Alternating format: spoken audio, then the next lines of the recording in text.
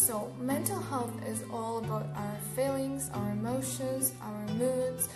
Everybody knows how to take care of their physical health, but looking after our mental health is also as important.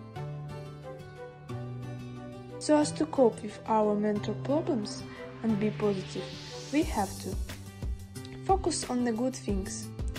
The world is full of bad events, but we have to put more attention to good things. Always see the good side of the problem. Be grateful. Studies have shown that gratitude reduces stress and improves self-esteem. Being grateful also allows you to feel happiness. One advice as to be more productive, keep a journal there you write what you are grateful for. There are many ways to deal with mental health. Lately, I have been enjoying doing some meditation. We started doing this in English last year, and to be honest, like right off the bat, I wasn't really a fan.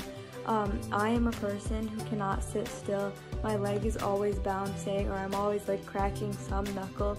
However, I found that just taking five minutes out of my day, and not even every day, just every couple of days, um, has really helped clear my mind. And it's not much, but anything helps. Um, also, try to focus on yourself. Make time to do hobbies that you enjoy, activities that you enjoy, and like make sure you take care of your body. This is really important to learn how to appreciate ourselves. We are all humans. We are all experience the periods when we feel anxious, sad, worried, angry. But those are all normal emotions. We just have to learn how to balance them. Surround yourself with positive people. Uh, I think I can become who I am today, or like doing things that I'm afraid of, or like speak out uh, all the things that I'm afraid to speak out. If I'm not surrounded by the people who love me. So yeah, that's it. I hope it, it will be useful for you guys. Uh, I hope you guys enjoy it. Bye.